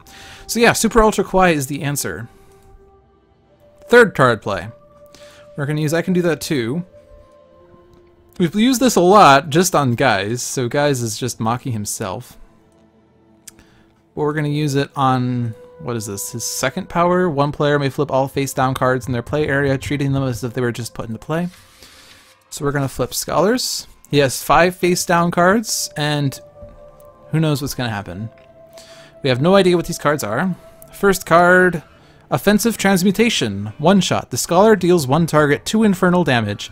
A target dealt damage this way cannot deal damage until the start of your next turn. That's excellent, because now Plague Rat's now shut down. He cannot do his irreducible damage. The second card, know when to hold fast. So he's going to draw five cards, but since it's out of his turn, his turn doesn't end. He still flips three more cards. We draw another offensive transmute, or not offensive transmutation.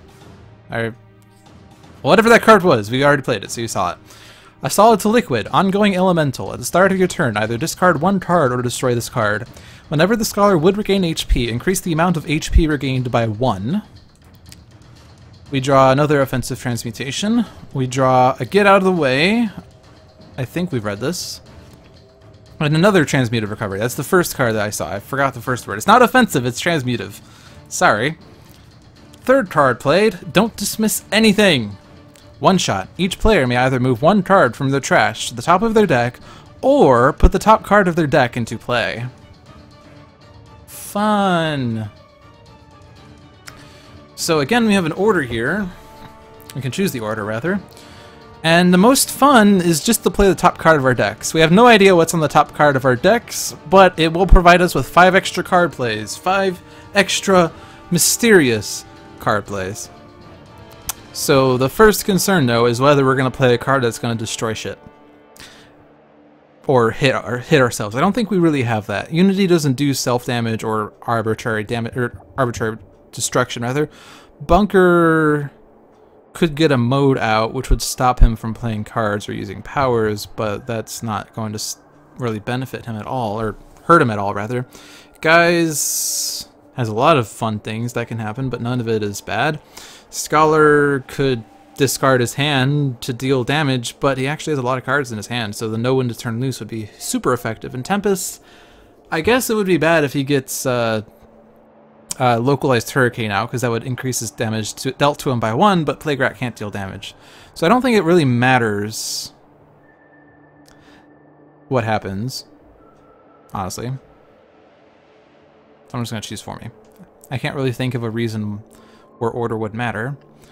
So we'll put the top card of Unity's deck into play. We get a free construction pylon. We'll put the top card of Bunkers into play. It was a Flak Cannon. It's already in play, so it goes in the trash instead because it's limited. Guise, we're putting a best card ever! Woo! Look what I can do with this. Draw two cards. So Guise the Barbarian, and the, let me see that. I can hit Plague Rat and I regain an HP, and now I can throw my hands in the air and yell woo. If you're wondering what the frickety frick is going on, this is all within the context of selling out. This is selling out gets pretty pretty involved sometimes. But to recap, this is the third card of selling out, which let me I played a card that would let me use a power on a hero card, so I used my own power to flip scholars cards, which one of Scholar's cards was to put the top card of each deck into play, or to put a card from the trash on top of the deck, which I didn't want to do. But you know what I can do now? Hmm. Let me see that uh, Gene-bound shackles you have over there, Tempest. Let me see that. Scholar, what would you like to do? Let's put the top card of my deck into play. Know when to turn loose. One shot. Discard your hand. The Scholar deals one target X lightning damage. I already read this, where X is the number of cards discarded this way. So he had 10 cards in his hand. So he's now dealing 10 damage to Plague Rats. Tempest is going to put the top card of his deck into play. It's an Electrical Storm, ongoing limited. At the start of your turn, Tempest deals each non-hero target one lightning damage. This is the fourth Scholar card, I believe. He played Expect the Worst. Ongoing Limited. Whenever the Scholar would be dealt damage, reduce that damage to zero. At the start of your turn, the Scholar regains 2 HP and destroys this card. I think I also read this card. This game's been going on for almost two hours, so I've already forgotten what's happened earlier. Bring what you need was limited. Alright. This resolves Selling Out. Selling Out is now finished. So now Horrid Skunk is dealing everyone one melee.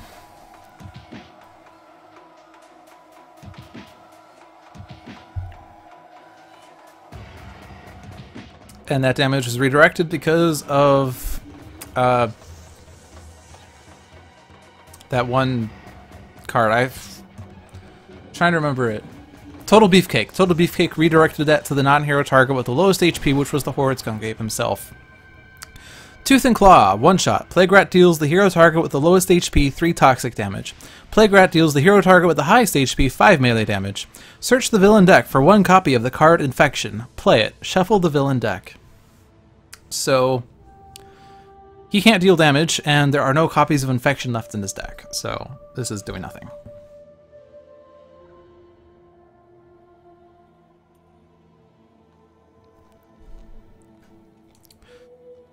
Alright, so now with Swiftbot back in play, Unity can play two cards again.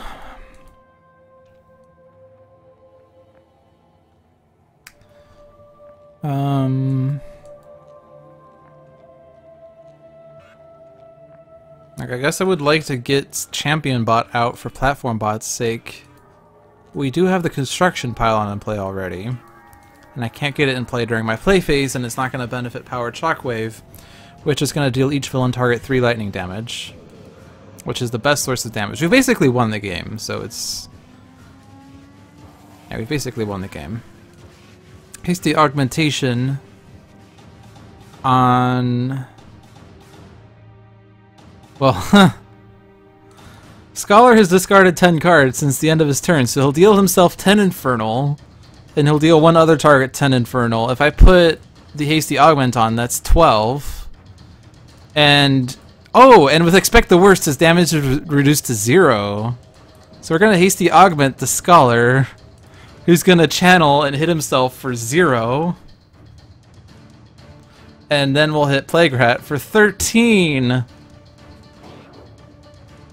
oh, man, I was really hoping to utilize the Let Me See That on Gene Genebound Shackles. So I'm gonna win with this next card play. So I'm gonna summarize this. Guise has uh, Guise the Barbarian, which isn't increases his damage by two. He has a Let Me See That on Genebound Shackles, which affects him as if he were that hero. So Genebound Shackles now reads increased damage dealt by Guise, the villain target with the highest HP by two. So he has a damage increase of four. And I think that his his damage is already increased by one because of his next hit. Actually, I guess not. I guess we might have used that up. Yeah, because it was best card ever that used it up. So he's his damage is increased by four, but he also has a super ultra kawaii, which could be used to put blatant reference out, and then he'd deal one target five projectile damage if he discards one card. And on the end of Bunker's turn, he could then use Look What I Found to deal three plus four damage, plus the blatant references five damage. So the card, the game was won, regardless. But thanks to the Scholar putting expect the worst out at a key time, we can use channel and not have Scholar hit himself. But now the game's won, so we might as well use Powered Shockwave just to use it. And this will deal 3 damage to Rat and wins the game.